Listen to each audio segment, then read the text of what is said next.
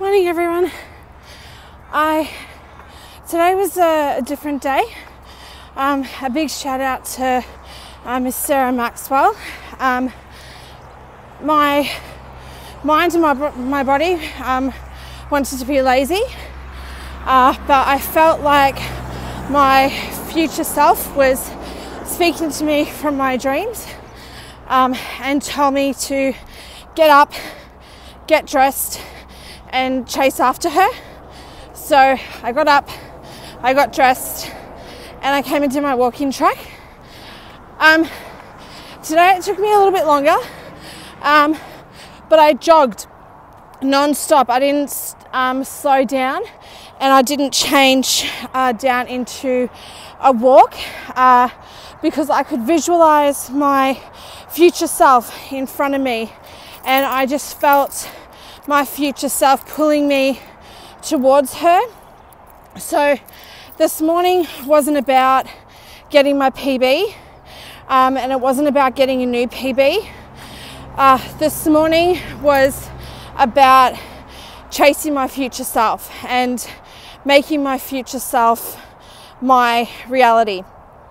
Um, and a lot of you in the group have told me, and I really appreciate it, that it's not about getting a PB. It's the fact that I didn't let laziness control me this morning.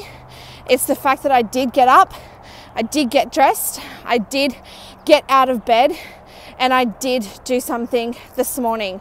So, um, in my past weight loss attempts, I would let excuses get in the way. Um, I would let excuses control the situation.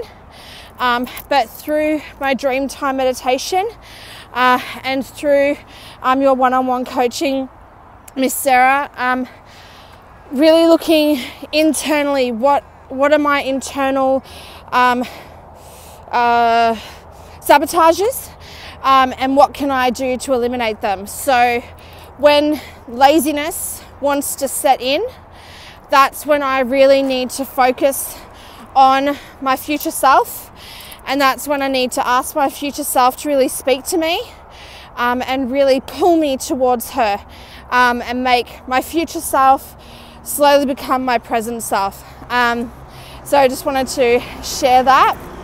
Um, have an amazing day, everyone, and uh, thank you again, uh, Miss Sarah, for really helping me to um, figure out what are my internal sabotages and how I can overcome them through dream time. So, have an amazing Friday, everyone. Um, if you don't work the weekends, have an amazing weekend. For those of us that have to work Saturdays, um, I hope you get through today and that tomorrow isn't too crazy for you. Um, and I look forward to doing my double day cleanse on Sunday and Monday um, and doing my check in Monday night. So, amazing day, amazing weekend. Mwah. Bye.